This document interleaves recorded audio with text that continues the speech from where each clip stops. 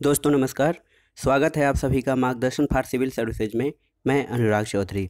दोस्तों, प्रारंभिक परीक्षा को ध्यान में रखते हुए हम मार्गदर्शन क्विक रिवीजन सीरीज़ प्रस्तुत कर रहे हैं, जिसके अंतर्गत महत्वपूर्ण तथ्यात्मक प्रश्नों का रिवीजन फॉर्म में प्रस्तुत किया जा रहा है। ये प्रश्न देखने में तो आपको आसान लगेंगे, लेकिन निगेटिव मार्किंग को देखते हुए आसान प्रश्नों को भी दोहराना बहुत ज़रूरी है, ताकि किसी गलती से बचा जा सके।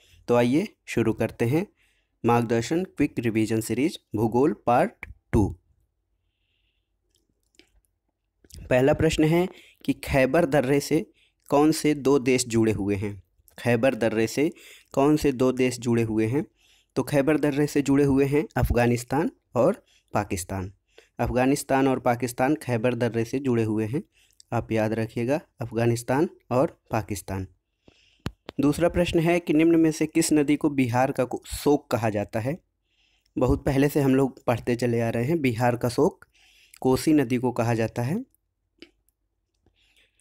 अगला प्रश्न है कि वर्ष 2006 के लगभग मध्य में निम्नलिखित हिमालय दर्रों में से कौन सा एक भारत और चीन के बीच व्यापार बढ़ाने के लिए पुनः खोला गया था? तो नाथुला दर्रा को 2006 के लगभग पुनः खोला गया था, व्यापार गतिविधियों को बढ़ाने के उद्देश्य से। अगला प्रश्न है कि निम्नलिखित में से कौन सी नदी दक्षिण से उत्तर की ओर प्रवाहित होती है? दक्षिण से उत्तर की ओर प्रवाहित होने वाली नदी बेतवा है। किस नदी को उड़ीसा का शोक कहा जाता है? बिहार का शोक, कोसी को, क्योंकि ये हमेशा बारिश के सीज़न में अपना मार्ग परिवर्तित करती है और बाढ़ से काफ़ी ज़्यादा जनधन के नुकसान होता है। उसी प्रकार से उड़ीसा का शोक महानदी को कहा जाता है। अगला प्रश्न है कि पृथ्वी के किस भाग में निकिल और लोहे की प्रधानता है? निकिल और लोहे की प्रधानता वाला भाग पृथ्वी का है निफे, N I F E, nickel और लोहा। अगला प्रश्न है कि किस पर्वतीय दर्रे से होकर भारतीय तीर्थयात्री मानसरोवर, झील तथा कैलाश मानसरोवर पर्वतीय घाटी के दर्शन हेतु जाते हैं? इंपॉर्टेंट है, कभी भी पूछा जा सकता है। क्योंकि कैलाश मानसरोवर यात्रा हर साल होता है। तो इसमें आपको याद रखने की ज़रूरत है कि किस पर्वतीय दर्रे से होकर भारतीय तीर्थयात्री कैलाश मानसरोवर की यात्रा पे जाते हैं। वो लिपुलेख दर्रा है। लिपुलेख दर्रा, याद रखिएगा। अगला प्रश्न है कि तिब्बत में मानसरोवर झील के पास किस नदी का उद्गम स्रोत है? तो मानसरोवर झील के पास से सिंधु, सतलज और ब्रह्मपुत्र नदियों का उद्गम स्रोत तीन नदियाँ हैं, जो मानसरोवर झील के पास से ही निकलती हैं। कुल अच्छांशों की संख्या कितनी है? शुरुआती प्रश्न है, जब हम लोग भूगोल शुरुआत करते हैं, लेकिन कभी कभी हम गलती कर सकते हैं, इसलिए याद रखिएगा, कुल अच्छांशों की संख्या 180 है। अगला प्रश्न है कि विश्व का सबसे बड़ा नदी द्वीप माजुली का निर्माण करने वाली नदी कौन सी है? माजुली नदी द्वीप है, और इसको एक ज़िले का दर्जा दे दिया गया है। ये ब्रह्मपुत्र नदी पे है। पृथ्वी के उत्तरी एवं दक्षिणी ध्रुव को मिलाने वाली रेखा क्या कहलाती है? पृथ्वी के उत्तरी और दक्षिणी ध्रुव को मिलाने वाली रेखा क्या कहलाती है? देशांतर रेखाएँ होती हैं। पृथ्वी के उत्तरी और दक्षिणी ध्रुव को मिलाने वाली रेखाएँ। स्थल मंडल से आप क्या समझते हैं? अगर जो प्रश्न आता है कि स्थल मंडल से क्या तात्पर्य है तो स्थल मंडल पृथ्वी की बाह्य पपड़ी को स्थल मंडल कहा जाता है। अगला प्रश्न है कि बोस्निया का सबसे प्रमुख पर्वत कौन सा है? किसी भी देश का प्रमुख पर्वत पूछ सकता है। तो बोस्निया का प्रमुख पर्वत कौन सा है? ये डिनेरिक आल्पस है।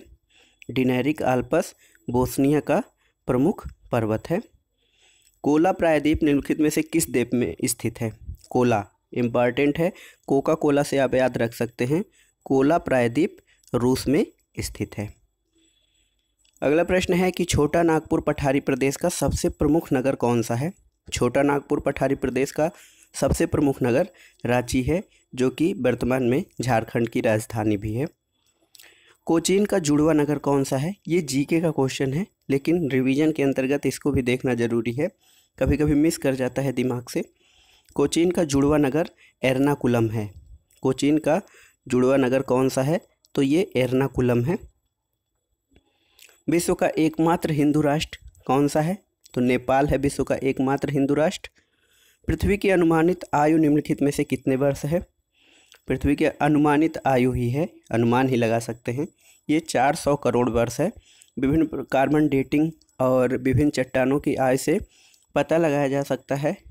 काफ़ी हद तक अनुमान लगाया गया है। तो पृथ्वी की अनुमानित आय लगभग चार सौ करोड़ वर्ष है। वर्ष 2000 वर्ष 1902 में 1902 में इंपॉर्टेंट क्वेश्चन है। वर्ष 1902 में भारत की सबसे पहली जल विद्युत परियोजना कहाँ शुरू की गई थी? तो ये शिव समुद्रम जल परियोजना थी जल विद्युत परियोजना, जो कावेरी नदी पे है, वहाँ पे शुरू की गई थी 1902 में। अगला प्रश्न है कि भारत में सर्वप्रथम कोयला उत्खनन किस स्थान पे प्रारंभ किया गया था? भारत में सर्वप्रथम कोयला उत्खनन किस स्थान पर प्रारंभ किया गया था? रानीगंज में सबसे पहले कोयला उत्खनन प्रारंभ किया गया था। एक प्रश्न है, थोड़ा सा आपके सोचने पे निर्भर करता है। निम्नलिखित में से किसकी वृद्धि प्रतिशत में देश में सबसे तीव्र गति से हो रही है? तो वो ऑप्शन दिया रहेगा, लेकिन महिला साक्षरता में, वर्तमान में अगर जो ये कहता है पुरुष साक्षरता में वृद्धि हो रही है, और महिला साक्षरता में या लिंगानुपात में वृद्धि हो रही है तो सर्वाधिक वृद्धि इनमें से महिला साक्षरता के, महिला साक्षरता में हो रही है। स्वतंत्रता से लेकर अभी तक महिलाओं की साक्षरता में बहुत तेज़ी से वृद्धि हो रही है। निर्माण की दृष्टि से कौन सी चट्टान सर्वाधिक प्राचीन है? तो निर्माण की दृष्टि से आग्नेय चट्टाने सबसे प्राचीन हैं। निम्नलिखित में से कौन सी महाराष्ट्र में स्थित नहीं है? ये पूछ रहा है अमरनाथ की गुफाएँ। तो ये महाराष्ट्र में नहीं है। अमरनाथ की गुफा, जैसा कि आप जानते हैं, जम्मू कश्मीर में है।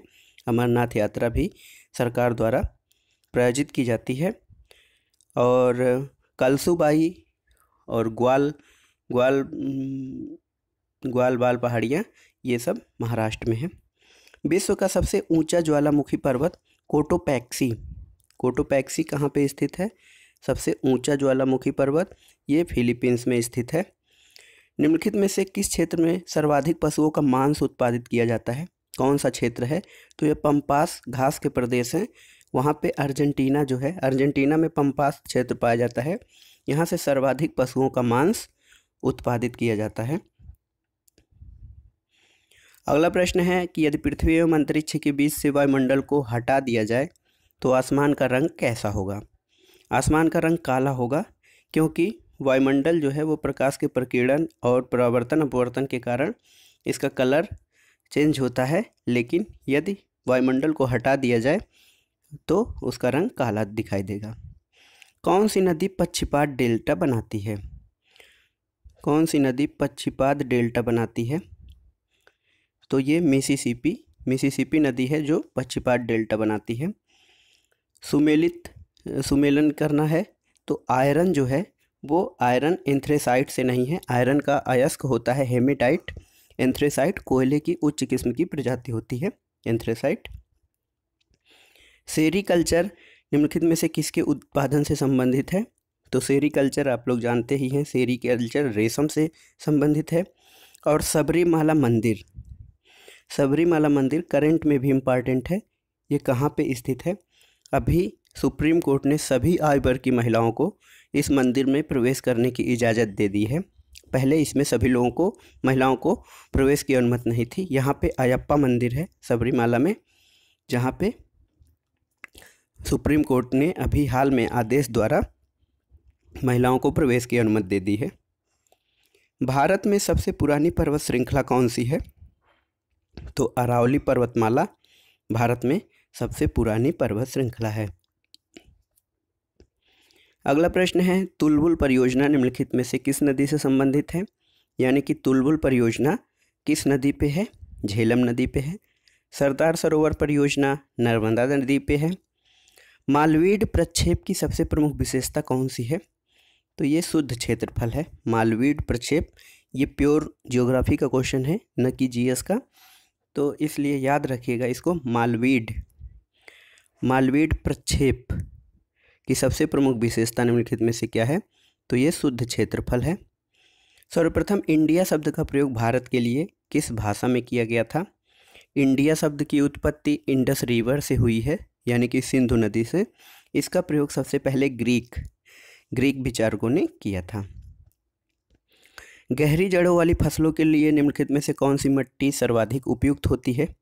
तो गहरी जड़ें वाली फ़सलें जो होती हैं, उनके लिए काली मिट्टी सर्वाधिक उपयुक्त होती है। किस फ़सल को प्रति हेक्टेयर सर्वाधिक जल की आवश्यकता पड़ती है? प्रति हेक्टेयर, वैसे तो कोई भी फ़सल बिना जल के नहीं हो सकती है, लेकिन गन्ना को सर्वाधिक प्रति हेक्टेयर जल की आवश्यकता पड़ती है। अगला प्रश्न है कि खारी नदी जिस अपवाह तंत्र का अंग है, खारी नदी अपवाह तंत्र जिस अपवाह तंत्र का अंग है, वो बंगाल की खाड़ी ये खारी नदी बंगाल की खाड़ी में गिरती है या प्रवाहित होती है वहाँ से, वहाँ तक। क्षेत्रफल की दृष्टि से राजस्थान का सबसे बड़ा ज़िला जैसलमेर है। जैसलमेर को जैसा कि आप जानते हैं, मरुस्थल की रानी भी कहा जाता है। निम्नलिखित में से कौन सी जलधारा अटलांटिक महासागर में प्रवाहित होती है? अटलांटिक महासागर में सुसीमा जलधारा प्रवाहित होती है। ठंडी तथा भारी वायु द्वारा गर्म एवं हल्की वायु के ऊपर उठा देने से क्या कौन सा वाताग्र जो उत्पन्न होता है, वो क्या कहलाता है?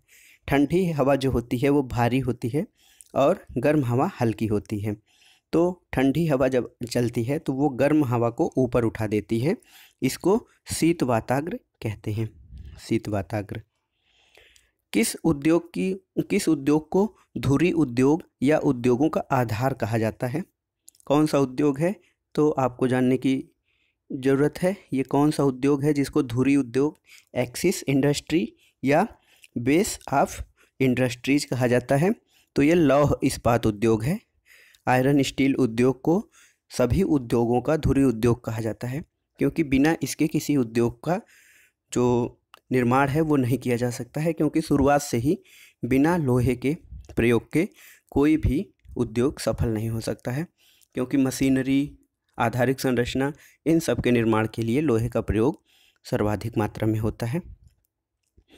किसे प्रकृति का सुरक्षा वाल्व कहा जाता है?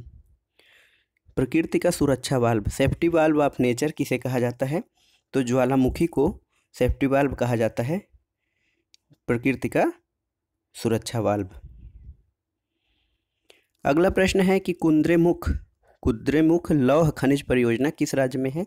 कर्नाटक में है, कुद्रेमुख। भारत में खनिज तेल के भंडार किस प्रकार की चट्टानों में पाए जाते हैं? तो खनिज तेल के भंडार औसादी या परतदार चट्टानों में पाए जाते हैं। भारतीय जलवायु की सबसे महत्वपूर्ण विशेषता कौन सी है? कई विशेषताएँ दी रही होंगी, दी गई होंगी तो उसमें से जो सबसे महत्वपूर्ण विशेषता है, वो पवनों का विपरीत प्रभाव। पवनों का विपरीत प्रभाव भारतीय जलवायु की सबसे महत्वपूर्ण विशेषता है।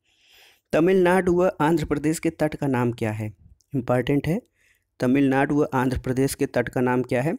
तो ये तमिलनाडु व आंध्र प्रदेश के तट का नाम कोरोमंडल है। छोटा नागपुर का पठार जिस संसाधन से समृद्ध है, छोटा नागपुर का पठार अभी हम लोगों ने देखा है कि वहाँ पे सबसे महत्वपूर्ण शहर रांची है, लेकिन छोटा नागपुर का पठार खनिजों में समृद्ध है।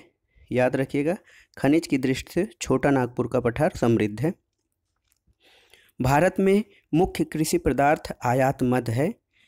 भारत कृषि उत्पाद का आयात तो ऐसे नहीं बहुत करता है। जो खाद्यान्न है, वो यहाँ पर्याप्त मात्रा में पैदा हो उसका उत्पादन होता है।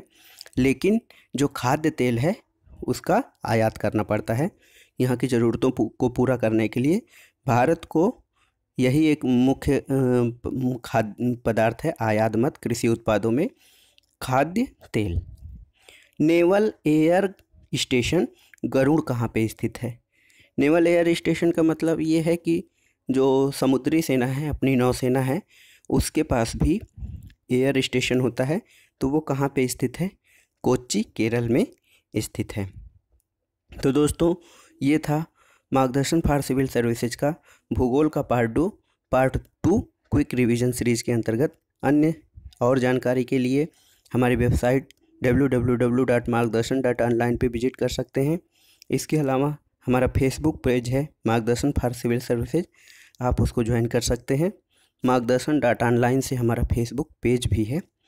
तो वीडियो देखने के लिए धन्यवाद। नमस्कार।